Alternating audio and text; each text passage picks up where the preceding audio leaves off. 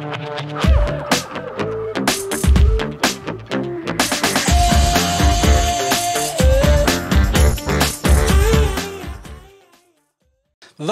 velkommen til Rett fram, en podkast fra Vestland Frp. I dag så har jeg eh, fått med meg nestleder i Fremskrittspartiet, Terje Søviknes. Hjertelig velkommen, eh, Terje. Tusen takk for det. Veldig kjekt å være med.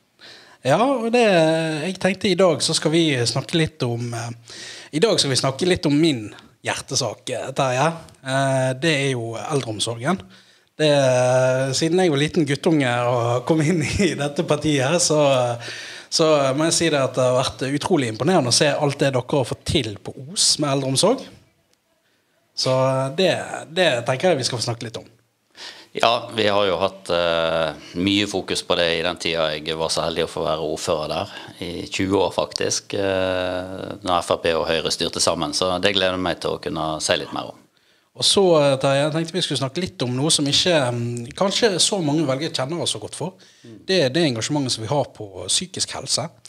Der, er det, der tror jeg vi har veldig mye å bidra med, som jeg tror eh, mange, til og med mange som er tilhengere av Fremskrittspartiet, kan, eh, kan eh, lære litt nytt om vår politikk på psykisk helse i dag. Absolutt. Og vi ser jo hvor viktig det er nå eh, ved utgangen, forhåpentligvis, av en tøff koronapandemi òg, hva psykisk helse faktisk betyr alle har en psykisk helse, så det, det skal vi uh, komme innom. Og så er det jo selvfølgelig når, når Fremskrittspartiet samles til noe som helst, så må vi snakke litt om noen skatter og avgifter. Terje. Ja, det er yndlingstemaet vårt, så det tar vi til slutt. Yes.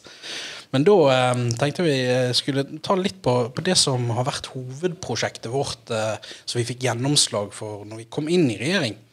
Det mm. å få til å, å faktisk få staten til å ta regningen for eldreomsorgen. For det har jo vært kasteball nummer én mellom lokalpolitikere og nasjonale politikere i alle år, så lenge jeg kan huske. Det å faktisk ta den regningen for å gi barn det verdig eldreomsorg.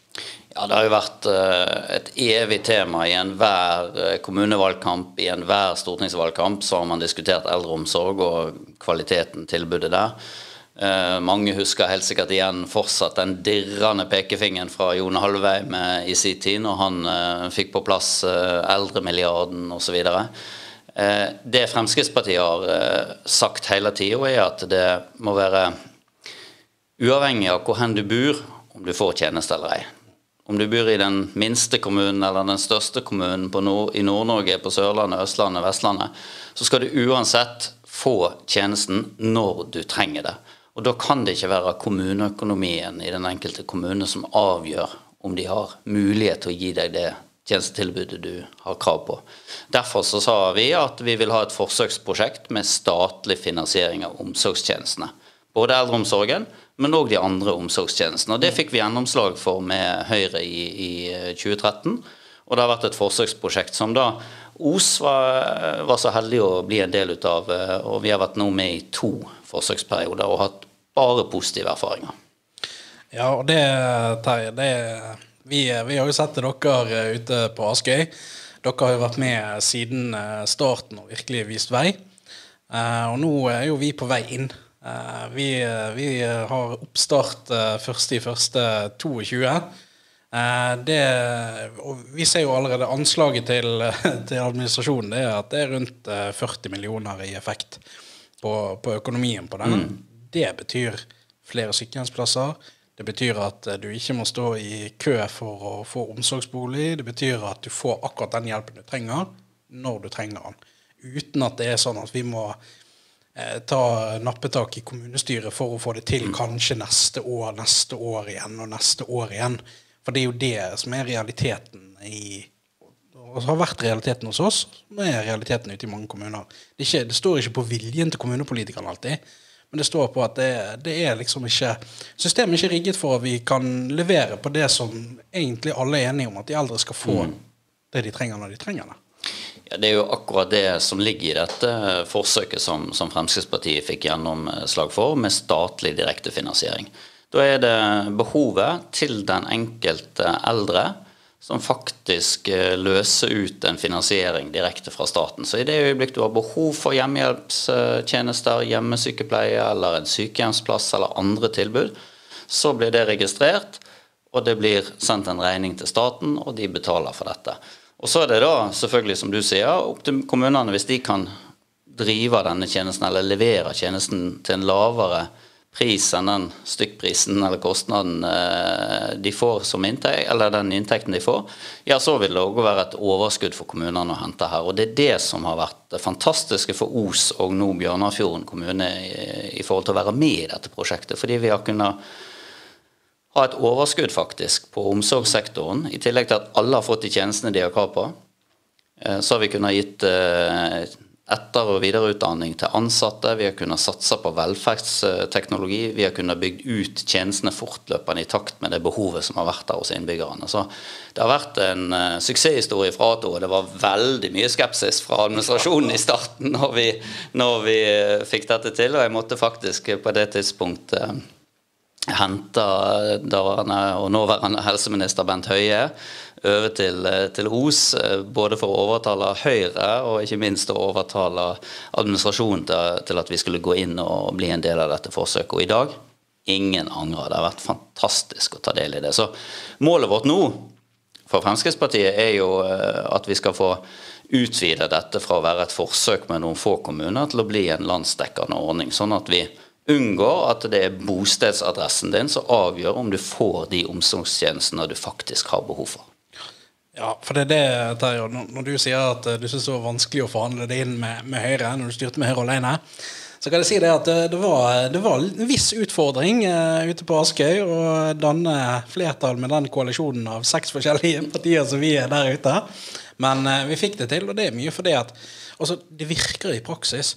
Det er jo mm. det som, altså, det var mye lettere for oss å komme etter inn i ordningen nå, For det at folk har faktisk sett eh, også både politikerne og administrasjonen vår altså vi, sendte jo, eh, vi sendte jo de fort på studietur opp eh, til Os for å, for å, se hvordan dere hadde fått det til. Mm. Og det, det, er akkurat det som Og det er det vi trenger mer av i norsk politikk. Vi trenger at når, når vi ser at noe faktisk virker, mm. ja, så, så, skal det bygges videre på. Det er helt rett. Og, og bekymringen som uh, mange nå har, er jo hva skjer hvis vi får et regjeringsskifte til høsten. Vil da dette forsøket bli videreført og utvidet etter hvert, eller vil det bli et stopp for, uh, for denne ordninga med, med, statlig finansiering av omsorgstjenestene? Og det, det, er klart Her har Arbeiderpartiet og Senterpartiet og SV, altså venstresida, vært veldig kritisk til dette forsøket, mens høyresida har vært positiv fordi det gir den enkelte innbygger, og jeg kan ikke få understreka det godt nok, dette handler om den enkelte eldre som skal være trygg for at den dagen man trenger en tjeneste, ja, så får man faktisk den tjenesten, og kommunen får det finansiert fra staten, fra fellesskapet. Og det handler jo om tjenestene i det handler jo ikke bare om sykehjemsplasser, det handler jo om tjenestene i alle trinn i omsorgstrapper, og det er viktig at man har mulighet til å sette inn tjeneste på rett trinn i omsorgstrappa, fra de enkleste tiltakene som går på noen tilpasninger i heimen, til kanskje noe velferdsteknologi hjemme som gjør at du kan bo lenger hjemme og ha livskvalitet, til etter hvert å få hjemmehjelp, eh, hjemmesykepleie, så trenger du kanskje noe avlastning for de pårørende sliten, og så trenger du kanskje en Omsorg pluss-plass, som er en type ja, det vi i gamle dager kalte gamleheim, da, mm. eh, men som eh, gir en trygghet uten at du trenger å ha fullt personell hele tida. Og så til slutt må mange av oss faktisk eh, benytte oss av tilbudet om en sykehjemsplass.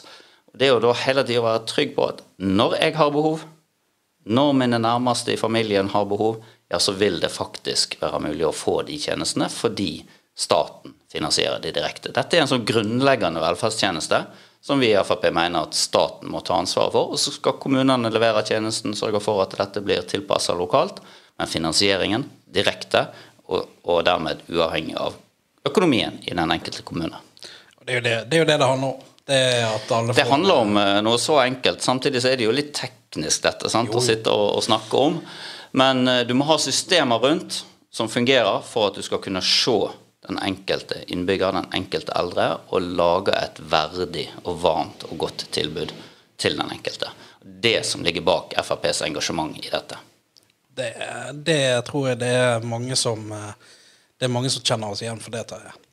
Eh, og eh, da tenker jeg jo litt på, på den, eh, en av de andre sakene i eldreomsorgen som vi har snakket en del om.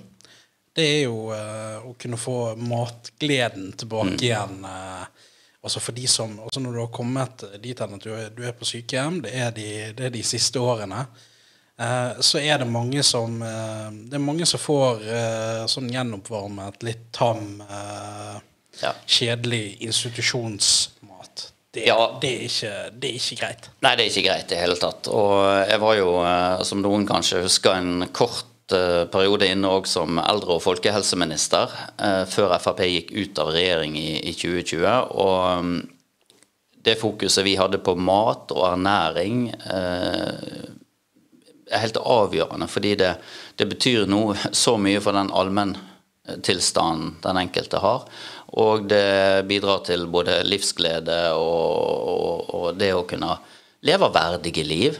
Eh, livet er ikke over om du kommer på en sykehjem. Det er fortsatt mange gode år igjen, og du skal ha et godt liv der. Og da er mat et viktig element. Så nye, eh, ny fersk mat eh, produsert på gode kjøkken på det enkelte sykehjem, det er jo klart idealmålet for, for oss. Og derfor så fikk vi jo gjennomslag for, når vi satt i regjering, å ha en egen tilskuddsordning for den type eh, reetablering av de ordentlig gode, gamle kjøkkenene på sy- sykehjemmene og, og omsorgsinstitusjonene våre.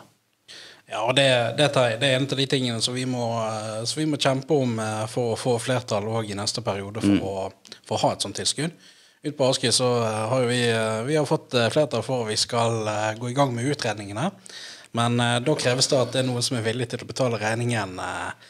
Og det, det, det er det, en av de tingene som jeg har lyst til å kjempe for i denne valgkampen her. Det er å få flertall for at vi, at vi kan få disse kjøkkenene tilbake igjen. Og her trenger man da tydelige talspersoner på Stortinget, som jo du er, Stig, for eh, en god og varm eldreomsorg, der òg maten er, er viktig. Så det å ha tydelige stemmer med erfaring fra kommunepolitikk, som vet hva dette handler om, inn i Stortinget eh, Og så går det an å danne flertall på kryss og tvers av parti, men eh, de stemmene må være der. Du må ha de som brenner for saka, og jeg vet at du brenner for eldreomsorgen, og ikke minst òg da eh, det å, å få eh, god mat og, og, og nye kjøkken på, på sykehjemmene rundt omkring. Så jeg ønsker deg lykke til med det, og så får jeg håpe at velgerne stemmer i med det jeg sa nå, og, og sikrer at du, du får deg en plass eller en, en varemannsplass på Stortinget.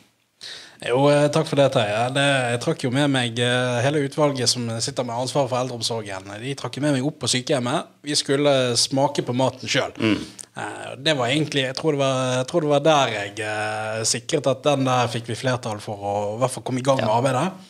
Det for eh, det, var ikke, det var ikke tipp topp. Nei da, det varierer jo selvfølgelig. Vi skal ikke male det Ja svart-hvitt. eh, Og det har faktisk òg veldig mye å si hva man har av muligheter lokalt på det enkelte sykehjem til å tilberede og presentere maten, skape de gode måltidsøyeblikkene. Sant?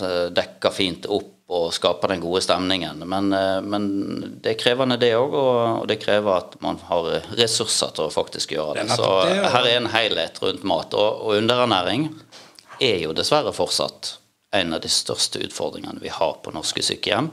Og, og legger det til, blant eh, veldig mange enslige hjemmeboende. Sånn at hvis man har gode ordninger med, med lokale kjøkken, så kan man òg få kjørt ut god eh, fersk mat til de som bor hjemme, og som kanskje etter hvert begynner å slurve litt grann med, med det viktigste måltidet om dagen, middagen. Og det, jeg, det, det er jo den andre Altså den siste tingen som jeg ville ta opp eh, når det kommer til eldreomsorg. Det med ensomhet, isolasjon. Det har jo eh, altså det har vært, det har vært en kjempeutfordring eh, fram til nå. Eh, viser, altså vi ser jo det, det har vært eh, en av de store folkehelseutfordringene våre. Det er at veldig mange av de eldre, både de som bor på sykehjem, men òg de, som er- altså de som bor igjen alene hjemme, da Ja. de, er, de har vært ensomme lenge, og det hjalp ikke på med en pandemi med nedstenging. Og det, var, det er jo for å beskytte de, de eldre, for de har vært mest sårbare for, eh, for, eh, for dette viruset. Ja. Men det har jo òg gitt en ekstra bør til, til, til lasten for mange eldre på isolasjonsfronten. Altså. Det er det ingen tvil om. Og, og det å skape gode møtearenaer, bidrar bidra til at en har fellesskap Eh, vi er jo ikke bygd eh, for å være alene, vi mennesker. Vi er jo heldigvis veldig sosiale av oss. Og det gjelder òg når du blir eldre. Eh, og det her er det jo et sett av virkemidler man har lokalt, først og fremst, men gjerne med finansiering fra statlig side, for å kunne bidra til å skape disse møteplassene. Og her må en bruke frivillig sektor, selvfølgelig. Det er mange fantastiske organisasjoner som driver godt eh, knytta til opp mot eldre.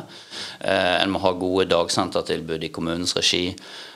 Og så er det selvfølgelig viktig at, at vi nå gjør et, en ekstra innsats i etterkant av koronapandemien. For det er ingen tvil om at de eldre og de yngste har vært de som har fått kjenne mest på kroppen hvordan det er å sitte isolert og ikke ha den muligheten til daglig kontakt med, med andre mennesker. Og det er vi helt avhengig av. Sånn er vi skrudd sammen.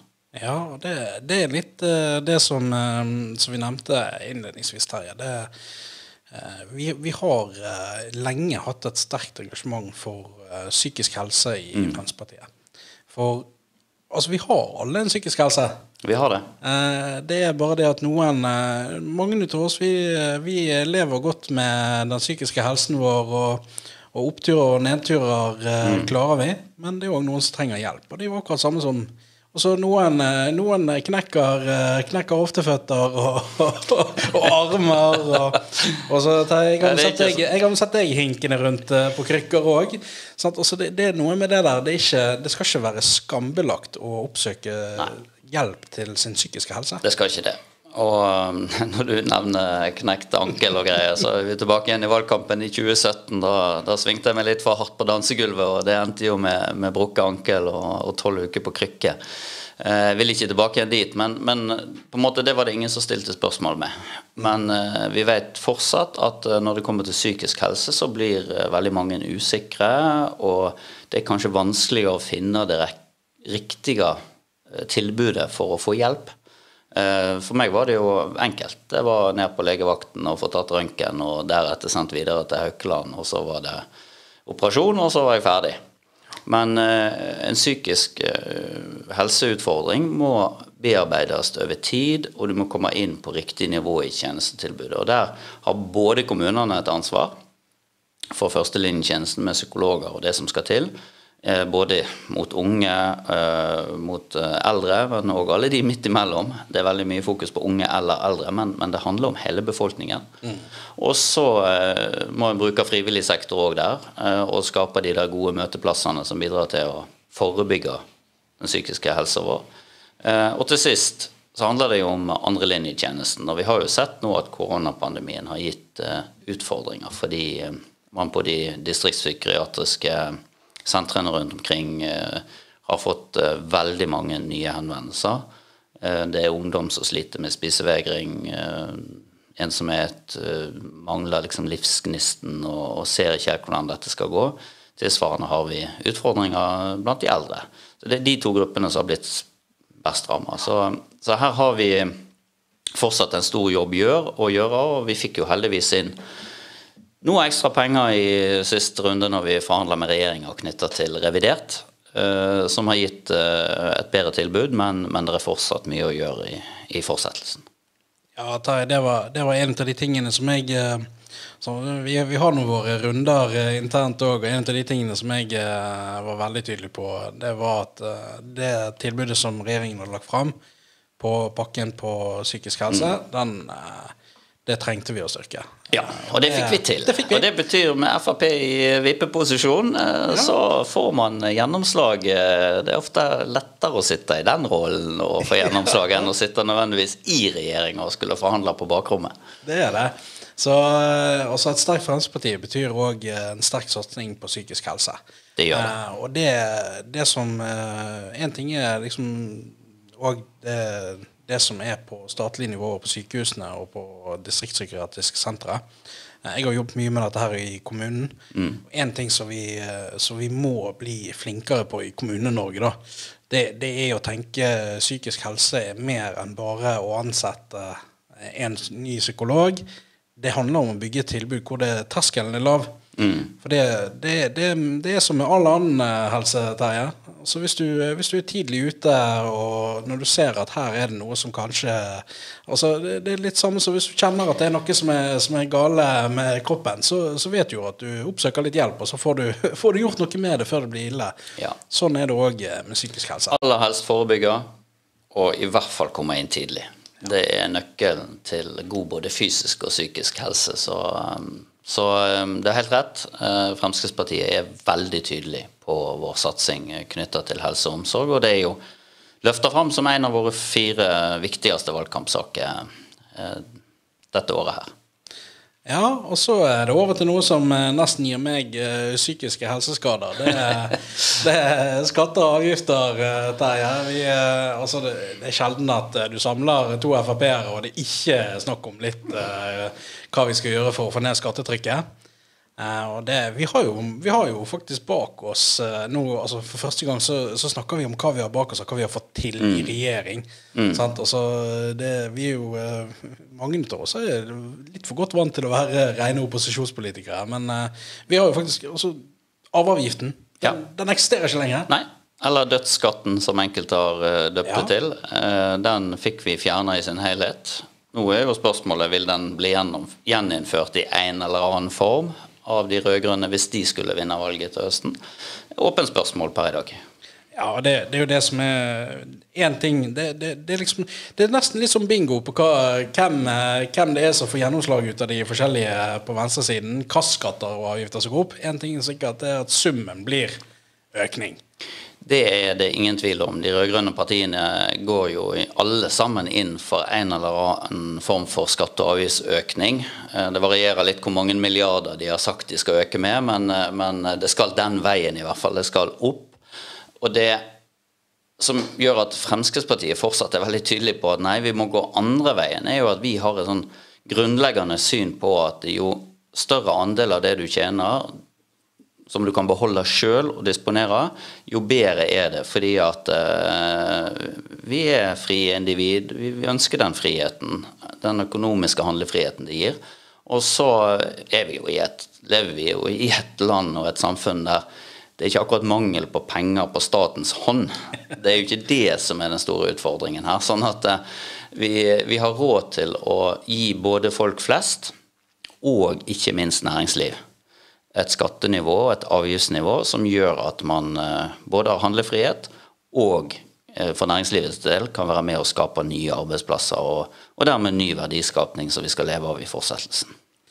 Ja, og det er jo det er litt sånn eh, Jeg syns jo jeg synes det er litt sånn spesielt når jeg ser liksom pressedekning av våre gjennomslag på skatte- og avgiftspolitikk. Sant? Det harseleres alltid med hver enkelt skatt, for var nå det det viktigste?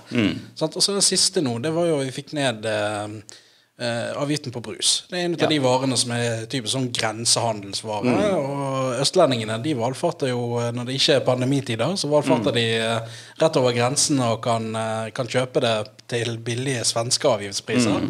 Mens vi har hatt høye avgifter. Sant? Og det var faktisk så gale der en stund, Terje, at det var lønnsomt å sende store forsendelser med brus i posten. Ja, altså jeg har vært på, på dagligvarebutikken, nærbutikken som jeg bruker i Lysefjorden, og, og opplevd at folk kommer bærende ut med, med postpakker sant, som er bredt med brus som er bestilt uh, den veien. Og det er klart man kan fleipe med at eh, ja, vi fikk nå kutta avgift på, på brus, men uh, i sum så handler jo dette om grensehandelsavgiftene eller eh, grensehandelsvarene eh, samla sett, og om vi skal ha arbeidsplassene knyttet til dagligvarebutikkene på norsk side av grensa eller på svensk side av grensa. Så jo lavere eh, avgifter svenskene har, og jo høyere vi har, jo jo mer subsidierer vi jo i praksis eh, svensk, eh, de- svenskene med, med vår handel der borte. Så for oss handler, i Frp handler dette om arbeidsplasser og norsk verdiskapning knytta til handelen. Og eh, da må en faktisk eh, ta avgift for avgift og kutte den. Nå fikk vi tatt litt i statsbudsjettet for 2020, eh, og så fikk vi tatt litt i revidert for 2020. Og så er det bare å fortsette jobben. Ja, mer skal det bli. Så, eh, men en ting som òg som, som er litt sånn het potet i, i denne valgkampen, er jo formuesskatten. Ja, den har jo vært en heit potet i mange valgkamper, og, den er det fortsatt. og man kan gjerne si at eh, de som har eh, formue, må, må, være med og, bidra til fellesskapet. Utfordringer med formuesskatten er først og fremst knytta til næringslivet og de små og mellomstore bedriftene, ofte familieeide rundt omkring. Der uh, sitter ikke disse bedriftseierne og har en feit bankkonto, men de har verdier i bedriften sin som gjør at de uh, blir ilagt formuesskatt hvert eneste år. Uh, og Jeg kan ta et godt eksempel fra min egen heimkommune som, som godt illustrerer dette. Solstrand hotell og bad. Familieeid. Fantastisk hotell for de som har vært der. De må altså hente ut utbytte fra virksomheten hvert eneste år fordi at eierne, familien, Skau Larsen, må altså betale formuesskatt av den eiendomsmassen som hotellet representerer. Uavhengig av om hotellet går med overskudd eller underskudd. Uavhengig av om selskapet går bra eller dårlig, så har de altså en verdi der da, i form av eiendommen og bygningsmassen som blir ilagt årlig formuesskatt på. Og Da sier det seg selv at dette blir veldig urettferdig når et tilsvarende hotell eid av en utenlandsk kjede, ta som da ikke trenger å betale formuesskatt fordi at eh, eierne ikke er norske. Da blir det en ren konkurransevridning mellom et familieeid hotell kontra et kjedehotell eid fra utlandet. Så de som ivrer for en veldig høy formuesskatt, de bidrar i praksis til å presse eierskap ut av Norge, straffer norske eiere, og dermed straffer de mest stabile eierne eller næringsaktørene vi har, nemlig de som skaper arbeidsplasser og nye bedrifter i lokalsamfunnet rundt omkring i hele Norge. Det er, det er nesten ikke til å forstå tankegangen eh, når man da fra SVs side nå sier at man skal ha en heftig formuesskatt eh, for ja, å ta de rike. Da blir det mer symbolpolitikk enn det blir det som er godt for landet og framtida vår. Det er det som er, og det er jo det som er liksom skummelt i debatten om, og spesielt i debatten om skatter og avgifter, Terje. For uh, der, der, er vi litt siste skanse, altså. Det, det, er hele venstresiden, og det gjelder Det er jo ikke bare de ekstra de ute på ytterfløyene. Nei, dessverre. Altså, altså de, snakker, de, snakker, om å ta de rike, ta profitørene. Altså det, det, synet, og den, altså det verdisynet som ligger til grunn på sosialistisk mm. side, om at de som skaper noe, de som eier virksomheter, de som betaler store deler ut mm. av gildet for det vi sitter og forvalter, de er nesten sånn blitt fienden. Og det handler, det handler, faktisk litt om verdi, hva slags verdisyn man har òg eh, der, syns jeg. Og det, det handler det, de slipper, handler de slipper lett unna på venstresiden på det der også. Ja, de gjør det. og Det, handler veldig mye om, om, grunnleggende verdisyn på dette. Og eh, jeg tror altså til og med vi som ihuga Frp-ere, og, og, dere Frp-ere som måtte sitte der ute og lytte på, jeg er helt sikker på at alle vi mener at ja, vi skal betale en solid skatt for å være med og dekke felle, de fellesgodene vi har, det velferdssamfunnet vi har. Skulle bare mangle. Men da er det rimelig å betale den skatten av det du tjener, altså av din løpende inntekt. Det som blir så urettferdig med formuesbeskatningen eller ta eiendomsskatten for den ja, del, det er jo akkurat det samme bare det er jo at du, du betaler fortsatt formuesskatt selv om virksomheten din, bedriften din, har gått med underskudd et år. kommer formuesskatteregningen. Tilsvarende hvis du som eh, eier av et eh, hus eller fritidseiendom ikke lenger har løpende personinntekt, jo da, eiendomsskatten kommer fortsatt. For den, er knytt, den skatten er knytta til verdien av den eiendommen du, du, sitter på. Kanskje er det et pensjonistektepar, eller sågar enda verre, en enslig pensjonist som ønsker fortsatt å beholde hjemmet sitt, som en kanskje er født og oppvokst i og har hatt hele livet. Men så kommer eiendomsskatten og blir en så stor byrde at det er vanskelig faktisk å bli sittende med hjemmet ditt. Og det er da vi sier at eiendomsskatt det er en usosial skatt. Vi skal ikke ha skatt på hjemmet ditt. Det er noe av det tryggeste du skal ha, det er hjemmet ditt. Det skal ikke være et skatteobjekt. Ja, det er rett og slett Fremskrittspartiet til sterkt nedsettelser av skatter, avgifter og offentlige inngrep. Ja, det er liksom det er hele veien. Røttene er jo med oss ennå, helt tilbake til Anders Langes tid og 73 når partiet ble stifta. Men det ligger der, og det handler jo om at vi ønsker størst mulig frihet for enkeltmennesket. Og da må du òg kunne ha størst mulig økonomisk handlefrihet og, og ta egne valg. Og der ligger et grunnleggende verdisyn eller menneskesyn i det. Ja, men det, Med det så tenker jeg det var fine ord å runde av på, Terje. Tusen takk for at du eh, var med i eh, studio. Ja, og tusen takk for at jeg fikk lov å komme. Det har vært veldig kjekt. Ja da, skal, Du skal få lov til å komme igjen òg, eh, Terje. Så eh, til alle de som har eh, fulgt med oss, legg gjerne igjen litt eh, kommentarer og spørsmål i kommentarfeltene. Så plukker jeg det med meg videre. Og så så kommer både Terje tilbake igjen og andre spennende gjester. Så gi gjerne innspill til oss, så, eh, så skal vi sørge for å få svart ut eh, til, eh, til våre kjære lyttere. Med det så takker jeg for at dere hørte på Rett fram, en podkast fra Vestland Frp.